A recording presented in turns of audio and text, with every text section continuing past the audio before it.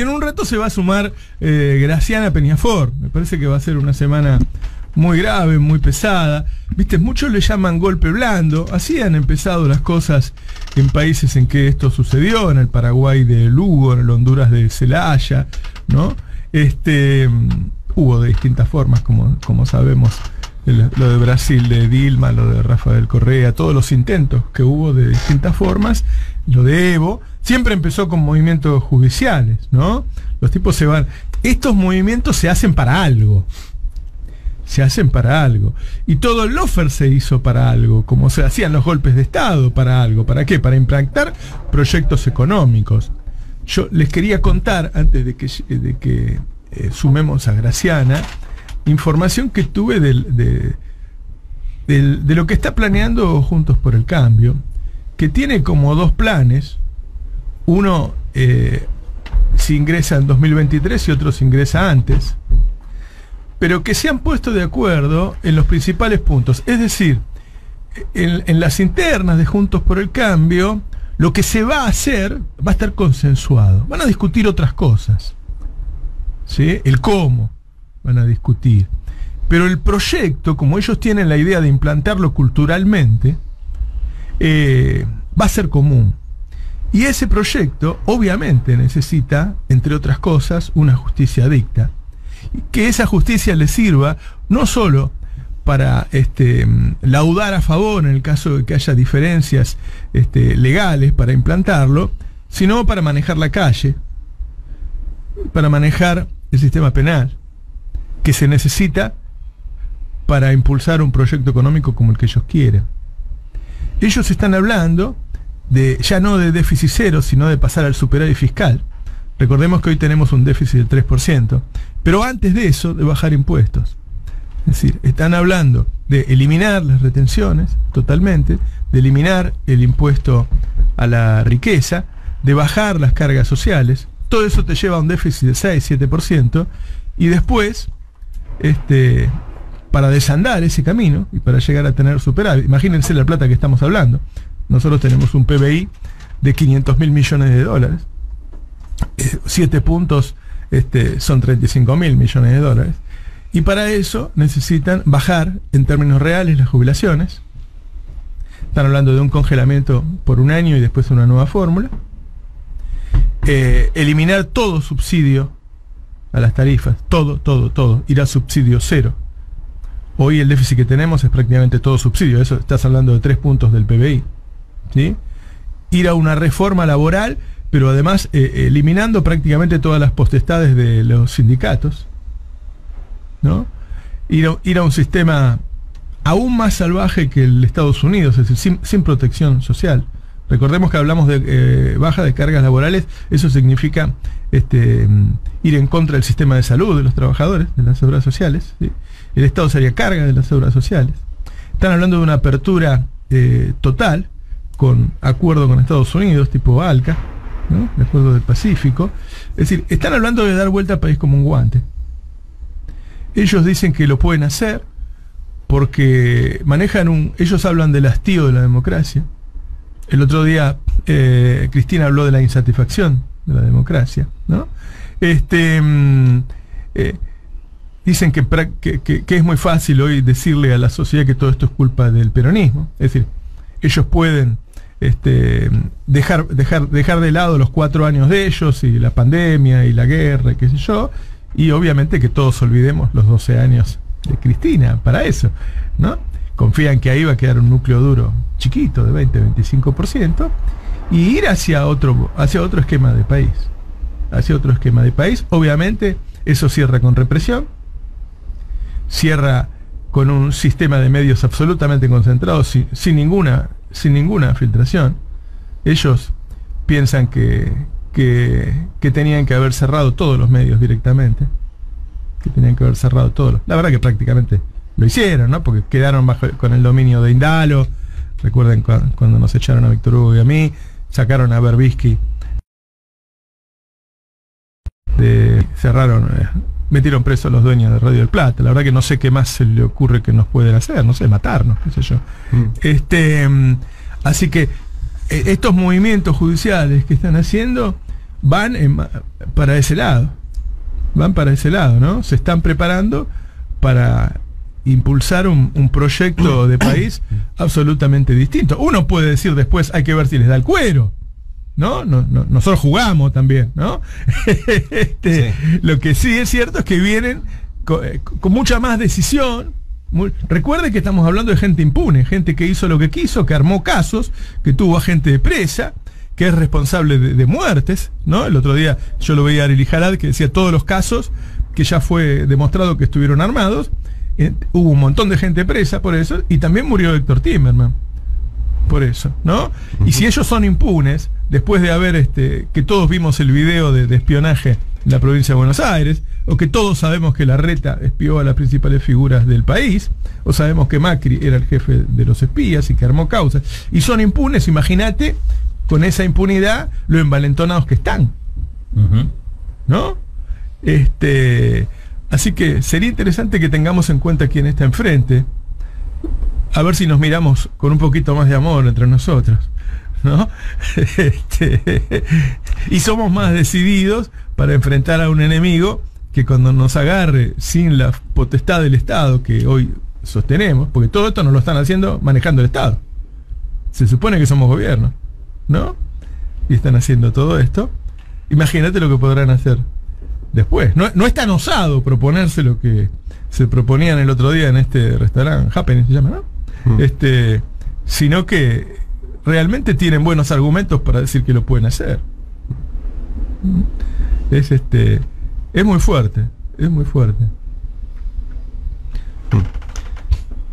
No, no, me quedé pensando, Roberto, em, el otro día Cristina dijo una frase, la famosa de cuando te pones la banda presidencial no tenés el poder. Ah. Y hubo una lectura, a mí parecer eh, errónea de él. Estaba diciendo Alberto, yo te puse la banda y eso no te daba a vos la posibilidad. No solo no lo estaba diciendo, sino que le hizo eh, saber que no hablaba de eso. Claro. Y me acordaba de una, de una entrevista que le hiciste vos, creo que fue la primera o la segunda, en 2016. La primera, yo estaba em, parado frente a la tele, que fue cuando dijo eso. Y dijo exactamente lo mismo. Dijo, mira, eh, el poder, porque creo que vos le preguntaste si extrañaba el poder o, algo así. Y ella contesta, mira, el poder no, no está en la Quinta Olivo, no está en el bastón presidencial. Dice, el poder es llevar adelante tu proyecto político económico. Mm. Nosotros, como fuerzas populares, lo podemos llevar adelante cuando tenemos la herramienta del Estado. Los otros del otro lado lo llevan adelante aún fuera del Estado. Todo el tiempo. Este, todos los días. Todos los días. Y cuando tienen el Estado, además suman esa estrategia. Vamos a sumar a Graciana Peñafor. Hola Graciana, ¿cómo estás? ¿Cómo estás, Roberto? Hola, Ari, qué lindo escucharte. Hola, amiga. cuando, cuando las papas queman, lo traemos que nos dé una mano y te llamamos a vos y estamos todos juntos. Bueno, una lectura tuya para empezar de, lo que acontece hoy y de este ingreso por las malas, diría, de, de Rosati al Consejo de la Magistratura. Yo te diría que no es que las papas estén quemando, lo que, está lo que están quemando es la Constitución Nacional. Primero porque lo que está por pasar es que vamos a, la Corte pretende aplicar una ley que derogó el Congreso. Y aunque la Corte sea suprema, eso no la convierte ni en legislador, o sea, no la convierte ni en diputado ni en senador.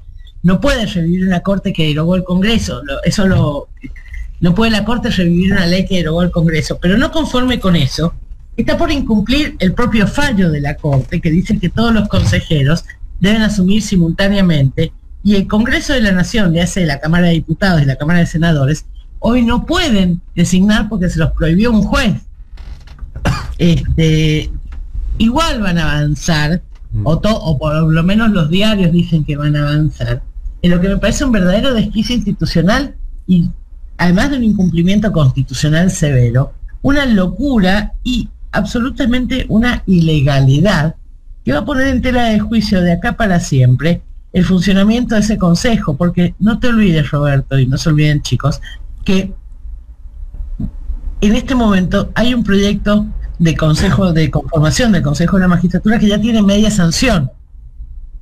Pero frente a la ausencia de ley, porque declararon inconstitucional, pretenden que reviva una ley que no puede revivir por voluntad de la Corte Suprema. A lo cual tengo que agregar, yo creo que la Corte jamás podría haber dictado este fallo porque no se puede ser juez y parte. La Corte no puede decidir aplicar una ley que, lo pone, que pone a la propia Corte presidiendo el Consejo de la Magistratura. Hay un interés. Mm. Con lo cual me parece un desquicio de todas las reglas de distribución de competencia y de funciones y me parece de una gravedad que yo le equiparo a un golpe institucional. Mm. ¿Y qué puede hacer el gobierno, Graciana, para frenarlo? Porque, o sea, mi, lectura siempre de todas estas cosas es, lo hacen porque quieren y les conviene, pero sobre todo porque pueden y los dejan. Em, yo creo que el gobierno está bastante atado de manos este, para hacer algo más que no, no se me ocurre que podría hacer en este momento, pero me parece que, a ver, ¿qué haces si un legislador decide darse a sí mismo la suma del poder público? impugnarlo judicialmente, mm. supongamos. Denunciar a, a, quienes votan esa atribución, supongamos. Pero ¿qué podés hacer para frenar una corte, un poder judicial, que es la última instancia en materia judicial que tiene la Argentina? Y que eh, parece actuar olvidando la constitución. Mm. Este, yo no, no veo mucho, mucho, mucho curso de acción porque jamás la Corte planeó este tipo de locura. O sea, el convencional constituyente no pudo pensar el nivel de locura en el que iba a caer esta Corte Suprema. De hecho, Rosati fue convencional constituyente. Absolutamente. Eso Él estuvo en la redacción de esta constitución que ahora viola. Sí, e incluso cuando asumió, cuando fue designado Rosati, mm. yo siempre cuento esto, yo fui una yo fui profesora de Derecho Constitucional el texto que usaba para dar mis clases era ni más ni menos que el texto de Rosati. Y casi me caí de culo, literalmente, cuando vi que Rosati aceptaba asumir por decreto, por decreto, cuando su propio libro decía que esto era incompatible con la Constitución. Claro, claro. Desde ahí viene, es más, pensá esto, Rosati se votó a sí mismo para ser presidente de la Corte, un sistema que ya había puesto en juego la, aquella Corte Automática de finales de los 90, y que me acuerdo de Petraki, por lejos el mejor juez que tuvo desde el regreso a la democracia la Corte Suprema, diciendo que ese sistema era aberrante, que desconocía las reglas democráticas y las reglas republicanas, y que era un sistema que convertía claramente en ilegítima esa designación. Pero este señor, que asumió por decreto, que se votó a sí mismo, ahora pretende hacerse a sí mismo presidente del Consejo de la Magistratura. Con un detalle, a través de esta, este ardid absolutamente inconstitucional e ilegal, pretende hacerse con el manejo del presupuesto del Poder Judicial. Es decir, que el, presidente no solo en este fallo fue juez y parte, sino que además va a ser administrado y administrador. Claro. Bueno, qué lejos estamos de la intención de de terminar con los sótanos de la democracia. ¿no? El problema de estos sótanos es que no son sótanos en el sentido estricto, sino que lo hacen a plena luz del día y con la anuencia de grandes sectores. Digo, yo no, yo me pregunto dónde están los partidos políticos, dónde están los que se dicen republicanos, y también me pregunto dónde está el resto del Poder Judicial que se supone tiene que defender la estructura de competencias de la Constitución. Ahí, Graciana, disculpame, pero pasó algo que es que en las votaciones, tanto por como jueces, eh, como magistrados o abogados, los ganadores son partidarios de este tipo de, Corte Suprema, del, si se quiere, del lawfare, del macrismo, o se referencia en el macrismo. Digo, las cosas pasan y tienen algún tipo de, apoyatura social, o esa es la, la, impresión que me, que me da. Digo, no, no es que es ellos solo contra el mundo. Me parece que operan así porque pueden y porque hay un aval de cierto sector de, de la política, cierto sector de los medios. Bueno, los medios, nada. Digo, me parece que hoy este, realmente, si el 25% es el, poder del presidente, no me quiero imaginar, no podría cuantificar porcentualmente cuánto es el poder de los medios, digo, mm. pero en algún punto... Este, me parece que hay como una apoyatura social. Yo no sé si eso para mí es evidente. No sé cómo lo que hay una apoyatura de corporaciones. Mira, los abogados, siempre que hay elecciones en los colegios de abogados, por ejemplo, en la capital federal, el peronismo presenta una lista y todos tenemos claro que para que ganen el colegio de abogados una lista con representantes del peronismo, primero debería haber ganado la capital, mínimamente el peronismo. El problema es que, no sé, voy a decir mi, mi lectura, no es apoyatura social, es apoyatura de corporaciones, que son las mismas que han bancado el lawfare, las irregularidades de, de, los años macristas. Eso no sé si es apoyatura social en el término democrático que pero sin duda es una estructura corporativa. Bueno, no nos olvidemos que este fallo sale con casi con más de 15 años de distancia a raíz de un pedido del Colegio de abogados de la ciudad de Buenos Aires que precisamente cada vez que hay un litigio en contra de la Argentina en los tribunales internacionales, los abogados que patrocinan son abogados de ese colegio. Es, es un colegio corporativo que defiende los intereses de las corporaciones y no me sorprende que haya promovido esta acción.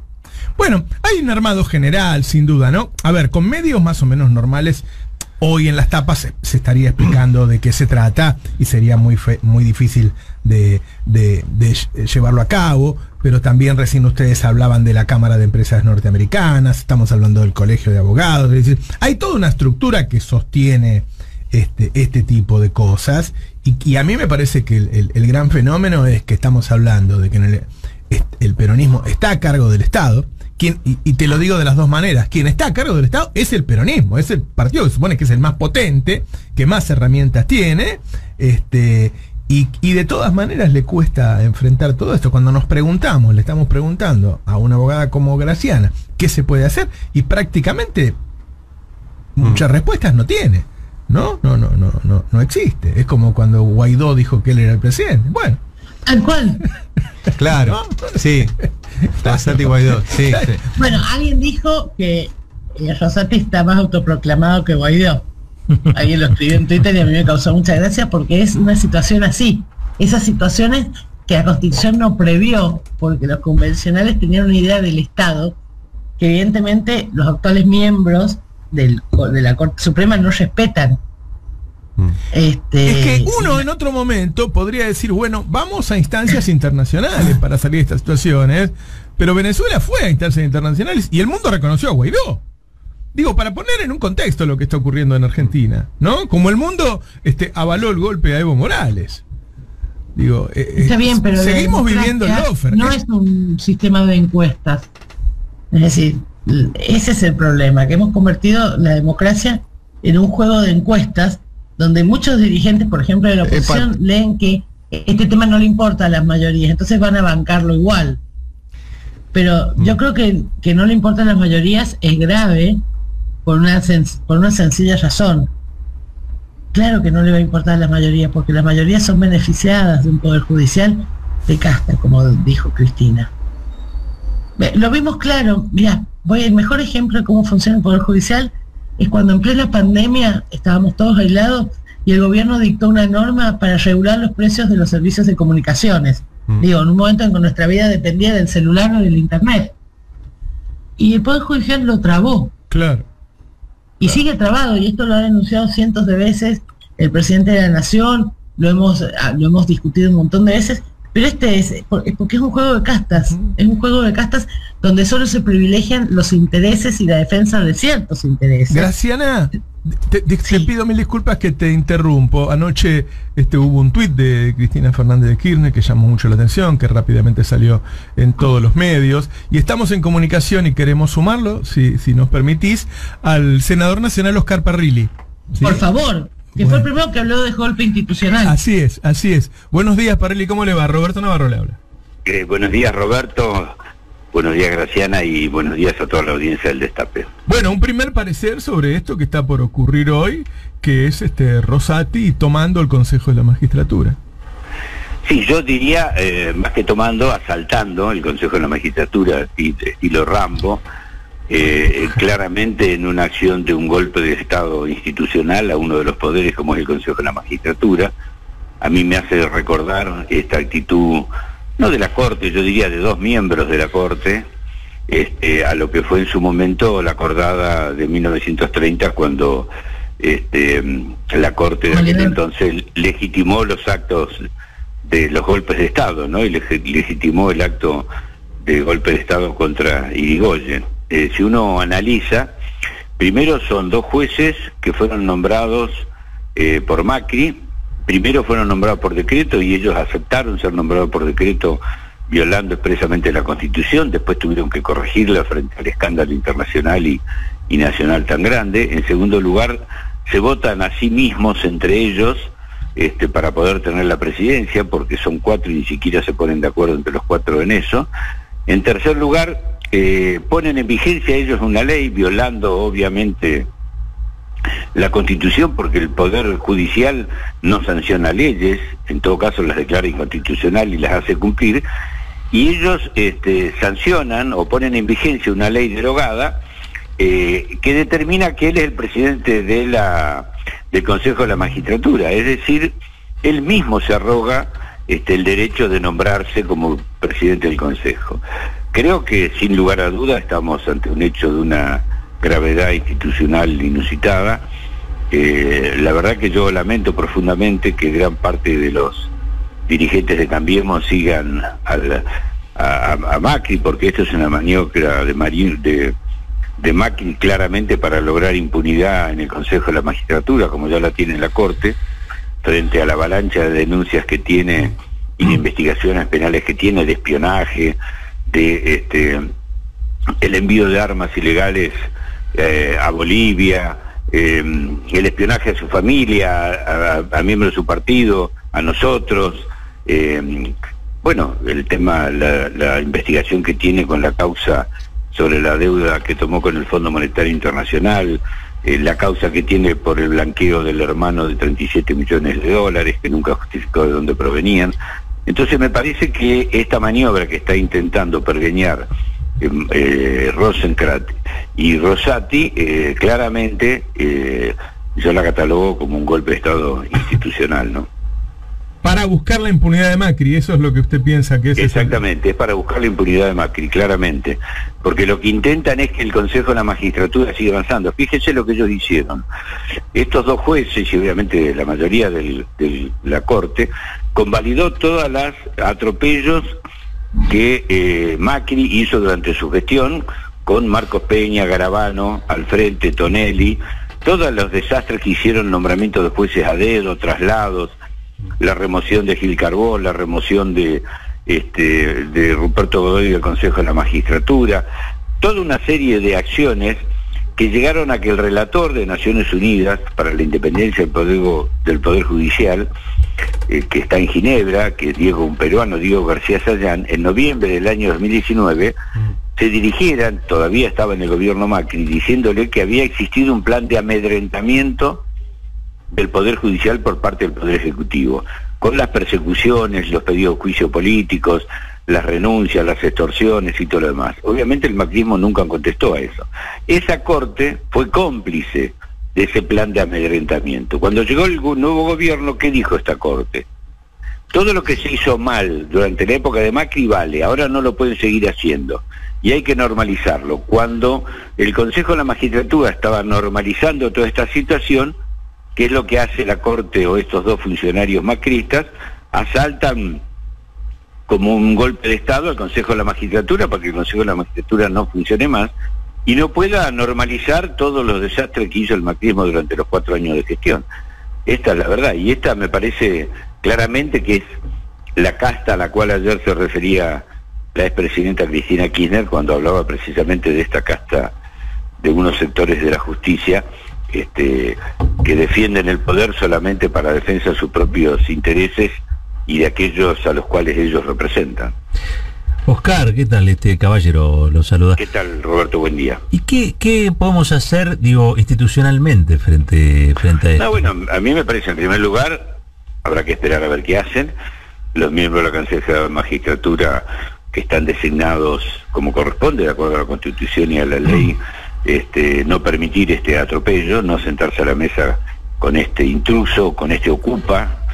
Vamos a tener un, integrante de la Corte que va a ser un ocupa de, un edificio del Consejo de la Magistratura, ¿no? Y un atropellador y un estilo Rambo. Y por otro lado, eh, nosotros estamos analizando recurrir a este, organismos internacionales de derechos humanos, de justicia, al relator para denunciar esta situación y para poner eh, este, en claridad cómo está jugando hoy este sector del Poder Judicial en la Argentina, que claramente está jugando a destruir la autoridad del gobierno, del Poder Ejecutivo y, digamos, utilizar eh, de una manera oprobiosa y vergonzosa eh, su, poder para para, bueno, eh, hacer lo que no corresponde que hagan, ¿no? Que son ellos dictar leyes y, hacerse ellos cargos del Consejo de la Magistratura. Además, porque hay una ley, ya que tiene media sanción en Senado, se podrá mejorar o no, podrá ser más buena podrá tener correcciones, pero ya hay media sanción del Senado, de manera que en 15, 20 días, un mes a lo sumo, no sé, eso verán los diputados, el tiempo, se sancionará la nueva ley y tendremos una ley del Consejo de la Magistratura, ¿no? Oscar y Cristina, a través de un tuit, este, citó otro tuit, en este caso un periodista cordobés, para describir la, la situación, ¿no? O este mecanismo. Eh, pero dando a entender que acá hay otros actores sociales que no están haciendo mucho, o están haciendo poco, o están haciendo nada. Digo, ¿dónde están las grandes, este, si se quiere, los grandes pronunciamientos de, no sé, la CGT o de otros organismos que, que también representan a la ciudadanía, eh, pronunciándose en contra de esto que sucede, que realmente es un tiene una gravedad enorme. ¿Qué, qué es lo que pasa? ¿Por qué este grado de claro, Obviamente sería muy oportuno, ¿no? Que varios Así como lo hizo la AmCham, la Asociación de Comercio Argentino Norteamericana, como lo hizo IDEA, que representa el grupo de los sectores monopólicos de la economía argentina, como lo hizo el Colegio de Abogados de la Ciudad, un colegio privado, no es el colegio público, que representa también a los grandes intereses, defendiendo la participación del presidente de la Corte en el Consejo de la Magistratura. Está claro que ellos representan los intereses de esos sectores, ¿no? Una corte que ha fallado históricamente a favor de, primero de los privilegios propios, ¿no? Los casos de los magistrados Brulia, Bertuz y todo, en semanas lo tenían. Y tienen, por ejemplo, la causa Milagro Sala hace más de cuatro años ahí paralizada, este, sin pronunciarse, tienen innumerable cantidad de, de causas sin, sin pronunciarse, que son causas que, que significan en realidad derechos para la cafonía y solamente eh, dictan fallos en aquellos casos que benefician a los sectores hegemónicos del poder económico, de los sectores de los medios de comunicación o a ellos mismos, ¿no? Eh, fíjate que estuvieron 16 años para decir que una ley era inconstitucional, ah. cuando ya antes se habían pronunciado diciendo que esa ley era constitucional. Eh, Oscar, en 2013. Y disculpa que te interrumpa, Lili Jala te saluda. Eh, este tiempo que se toma la Corte, que se tomó en este caso 16 años, en el caso de la ley de medios 4 años y en el caso de otras más años, digamos, ¿te parece que podría reavivar eh, una discusión sobre si necesitamos un tribunal constitucional que se dedique solo a eso? Es un tema en, debate, yo creo que sin duda nosotros tenemos que debatir, yo le he dicho más de una oportunidad, desde los miembros de la Corte, la cantidad de miembros de la Corte, las competencias, las facultades y sobre todo también las este, arbitrariedades que la Corte tiene, ¿no? Porque en realidad no es una cuestión constitucional, esta famosa, eh, el, digamos, recurso de arbitrariedad es un recurso hecho a partir de la jurisprudencia no de la Corte y la Corte lo ha utilizado para, eh, digamos, arrogarse poderes que la Constitución no le otorga. Mm. Yo creo firmemente que la Corte debe ser, por lo menos, eh, los miembros deben ser dos, dos dígitos. No mm, estoy abierto, obviamente, a la discusión, al debate de la cantidad de, de miembros, pero me parece que debería ser por lo menos eh, dos dígitos. Creo que debemos debatir y discutir esto, las arbitrariedades, que tiene la Corte, las facultades y los plazos de resolución de los conflictos, y claramente ponerle límites constitucionales y legales a una Corte para que no se arrogue la suma del poder público como es lo que están haciendo en este momento. Senador Parrilli, muchas gracias, muy amable, buenos días. No, por favor, muchas gracias, buenos días. Graciana. Sí. Bueno, dichos eh, fuertes de un senador nacional importante per se, y, también además muy cercana a la expresidenta porque está hablando de un golpe de Estado para garantizar la impunidad del expresidente Mauricio Macri, ¿no? De hecho, Pagili fue el primero que habló de golpe de Estado institucional y tiene razón, que lo que está pasando es un golpe de Estado institucional de una gravedad manifiesta y que yo comparto con Pagili que nos debería obligar a todos a ponernos a reflexionar y sacar un nuevo formato de Corte Suprema, mm. con una clara delimitación de las funciones, con una clara delimitación de los límites y además que con una clara delimitación de los plazos, porque lo que hacen es esta cronoterapia, como hicieron con la ley de medios, como hacen con el caso de Milagro Salas, como hicieron con esta propia ley, este, y que déjame que te marque esto, da desquicios institucionales, es que, por ejemplo, Esta ley fije desde el 2006, regía desde el 2006. O sea que durante 15 años fue inconstitucional el modo en que se seleccionaron los jueces. Claro. O sea, la Corte le pareció un detalle menor dejar pasar 16 años con una ley que terminaría declarando inconstitucional. Y yo me pregunto, después de haber dicho además que era constitucional, y yo me pregunto esto con honestidad, ¿eso implica que los jueces fueron designados de mal modo por un consejo inconstitucional? Mm. Pero además, déjame que añada esto, que no es menor. A mí me parece que, amén de la defensa de, las tropelías que llevó adelante el gobierno de Mauricio Macri, hay una defensa de intereses que exceden por bastante los de Mauricio Macri, que tienen que ver con los intereses eh, de tipo económico, porque esto es lo tremendo, nuestra constitución no previó agentes de intereses económicos y el mundo cambió. Entonces hoy tenemos una corte que resiste perfectamente desde el marco legal ser una lobista de intereses del sector económico. No es menor, yo pienso esto, los dos jueces que dictaron esta, esta los dos jueces que conformaron esta decisión tan arbitraria, eh, fueron designados por decreto, pero también fueron designados a, consejo de alguien que hoy está prófugo, que es Pepín, Rodríguez Simón. Sí. Este, que antes de ser un prófugo era un lobista de intereses de las grandes empresas, entre ellas Clarín. Que hay, hay un punto que ingresó hace un rato Roberto Caballero que me parece crucial, que a lo largo de la historia siempre ha sido así, que es el de, los que no se meten, el de los que no intervienen. Algunos por interés, porque son parte, otros por miedo, ¿no? Eh, cautela, como daticios, pero sin ellos esto no se podría hacer. Es que... Bueno, para mí eso, eso es claro, lo ves cuando ves las tapas de los diarios, que anuncian como total normalidad que vas, a ver, porque Rosati no ha hecho ninguna declaración. Claro. Eh, que va a asumir el presidente de la Corte en un o sea, están previendo que va a pasar algo. Yo a veces me pregunto, ¿están hablando con Rosati o le están dando una orden a Rosati? Mm. No amerita una... Eh, yo vuelvo a la pregunta de qué se puede hacer. ¿No amerita esto una cadena nacional? Porque está, si está habiendo un golpe institucional, amerita una cadena nacional para frenarlo. Está prohibida. Porque nada. No, pero pregunto, de verdad, eh, porque con este sistema de medios no es, por lo menos que se sepa que hay una decisión de frenarlo. El tema, Ari, es si a esta altura del partido también una cadena nacional es, suficiente. Hay, hay remedios que, hay que empezar a aplicar a tiempo para que surtan ah, efecto. Eh, y creo que lo que está faltando en, este análisis, en todo caso, es el déficit justamente de, la política.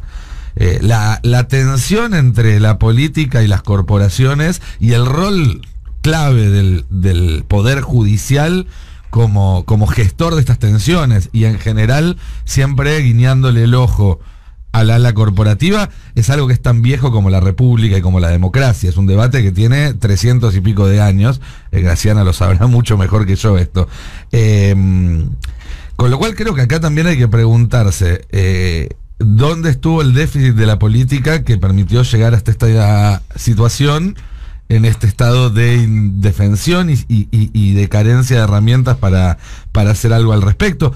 Eh, y, me refiero tanto a los debates internos dentro del Frente de Todos, como también a tender puentes con sectores de la oposición. Bueno, yo no, yo quiero creer que no toda la oposición está de acuerdo con esto. Y creo que lo que faltó en todo caso fue efectividad para encontrar los sectores que pudieran ponerse de este lado en esta batalla. Como, como hizo Macri cuando asumió, que no tuvo ningún asco en ir a juntar a los votos peronistas que necesitaba para sacar adelante proyectos, iniciativas que consideraba clave. Ahora, hubo... Yo, Nico, para, para, déjame decir algo. Sí, a mí me cuesta el argumento de Nicolás por un motivo. Yo no me olvido de una nota que publicó Horacio Berbisky hace dos domingos, donde contó cómo juez le había dicho a alguien que su única misión de acá hasta el 2023 era impedir que el gobierno accionara. Yo no sé qué vínculos y qué contactos puedes llevar adelante con una oposición que está plantada en que el gobierno no pueda gobernar. Es que creo que si aceptamos que toda la oposición es juez o es Macri, digamos que, que toda la oposición es intransigente, entonces en todo caso tenemos que replantearnos cómo funciona la democracia. Hay un punto que sucedió el otro día que lo sumo, que es que 19 gobernadores se reunieron para apoyar al gobierno en una discusión con la reta. Esos mismos gobernadores mm. empezaron a conversar, ya que se habían unido para algo importante, y pensaron, seamos apoyo del presidente de la nación y a la vez pidámosle algunas cosas. Se intentó hacer una reunión la semana pasada y el gobierno operó para disuadir a varios para que ese grupo se desarme. ¿Ese grupo pide cosas? Sí, pide cosas. Pero ese grupo sería un enorme apoyo para cuestiones como estas si se lo utiliza a favor. Entonces, me parece que hacer política y sumar todo lo que tengas, todo lo que tengas, ir a buscar a cada uno. Ha habido dos reuniones con Roberto Lavagna en los últimos días, uno con el presidente y uno con Sergio Massa. Digo, me parece que, ah, porque si no es darnos por vencidos, ¿no? Y yo lo último que voy a hacer es darme por vencido. yo creo que hay que pelear hasta el último día, como lo hicimos en 2015 y en 2019. Una vez perdimos por un punto y medio, la otra vez ganamos. Lo peor que podemos hacer es darnos por vencido y pensar que no tenemos más herramientas para luchar. Y siguiendo un poco lo que decía Nico, de eh, claro, no hay un remedio que lo des hoy y solucione esto. Esto es eh, laburo constante. Y hay un tema hoy, es decir, ¿por qué estamos hablando del Consejo de la Magistratura cuando no podemos comprar fideos? ¿Qué relación hay entre Bueno, yo lo dije hace un rato. Esto es para implantar un em, proyecto económico. Claro.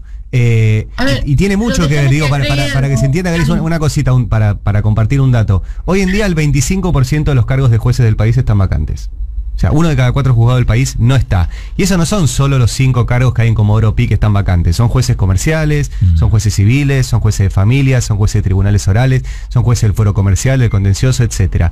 Todos esos jueces después terminan decidiendo sobre situaciones particulares de tu vida. Por ejemplo, cuánto te va a costar la comida, si hay una posición monopólica, si hay una empresa que esté violando la ley, si hay eh, algún pago de comer. Todos esos jueces deciden sobre, sobre eso. Y por algo, digo, por algo la semana pasada, la que se metió a decir algo sobre el Consejo de la Magistratura fue la Cámara que representa a las empresas estadounidenses en la Argentina, mm. que son las que nos venden a nosotros gran parte de las cosas por las cuales nos llegamos a fin de mes. Bueno, este tipo de, explicaciones eh, tendrían que estar todo el tiempo sobre la mesa para que no quede que esto es una peleita por dos asientos en un, en un lugar que hace los concursos para los jueces. Totalmente de acuerdo. Sí, pero además, déjame que te agregue esto. ¿Cuál es el mayor problema de aplicar, por ejemplo, la política de precios máximos? Que la Corte te nulifica las sanciones, que la justicia, el Poder Judicial, tanto es así que eh, no puedes aplicar las herramientas institucionales porque es el propio Poder Judicial quien te nulifica esa posibilidad de accionar. Y por eso es claro que a esto muchos, muchos se callan por temor y otros se callan por conveniencia, porque las medidas estructurales que toma esta Corte Suprema le convienen. Claro. Claro. Y eso me parece que también hay que ponerlo en tela de juicio. Tiene que ver, a ver, lo que te cuesta el PAN o lo que te cuesta la negativa a, distribuir la ganancia extraordinaria que deriva de la situación en Ucrania, tiene mucho que ver con mucho silencio respecto a lo que está por pasar hoy. Porque es esta Corte y es este Poder Judicial el que te impide, por ejemplo, tomar las medidas que ayudarían a distribuir esa renta extraordinaria. Y esto es grave. Y me parece que mucha gente dice, no, este tema no me importa, esto le importa a los abogados. No, te importa a vos, porque lo que vas a pagar por pan hoy al mediodía tiene que ver con lo que va a pasar hoy. Claro. Ahora estamos en un tiempo en que cada uno de nosotros se posiciona ante estos hechos, ¿no?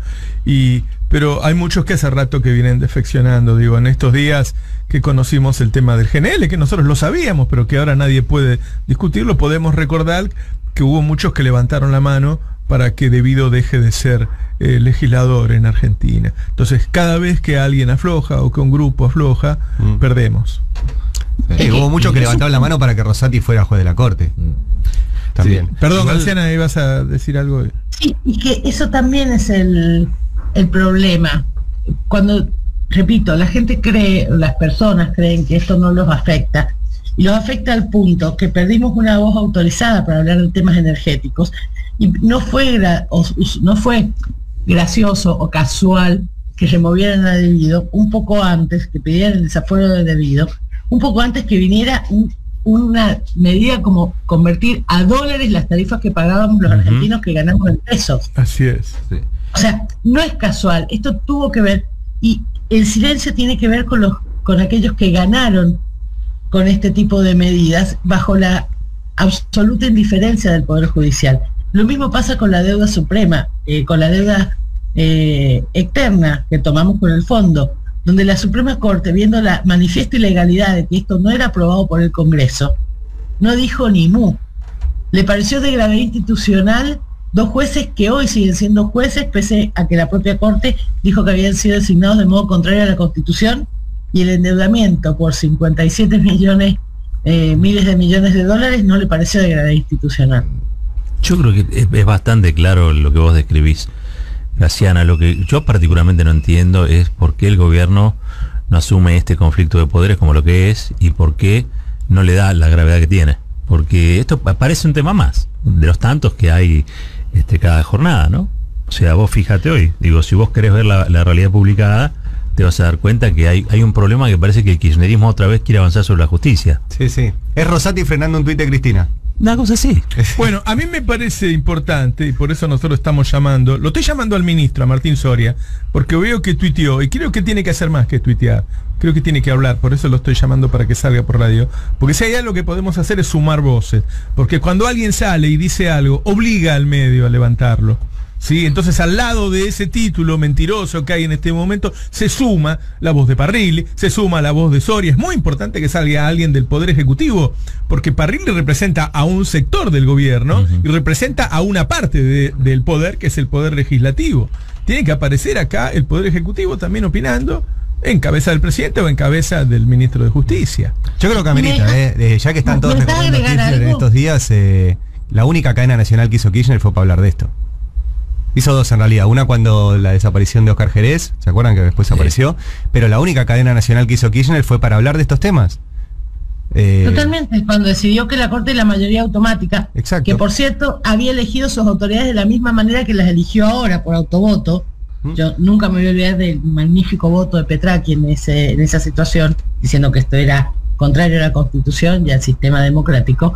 Este, fue precisamente para pedir el juicio político a la Corte Suprema de entonces y conseguir la renovación. Renovación que nos dio una de las mejores cortes que tuvo la Argentina, donde están representados todos los sectores de la sociedad en términos ideológicos. Yo no estuve de acuerdo con todos los fallos de esta Corte, pero reconozco que eran fallos fundados y tenían, tenían en su constitución votos que representaban la diversidad. algo que esta Corte carece. Esta Corte tiene dueño, dueño determinado. Podríamos casi eh, ponerlo a nombre de determinados eh, administradores de intereses.